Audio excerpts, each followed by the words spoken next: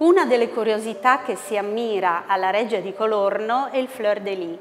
il nostro giglio comune, che qui nella sala che era la camera da letto di Louise Elisabeth di Francia, figlia di Luigi XV, troviamo nel pavimento, ma anche in un angolo della volta. È un simbolo araldico che insieme al leone, alla torre e alla croce era, mm, erano parte dello stemma di Filippo di Borbone, marito di Louise Elisabeth di Francia,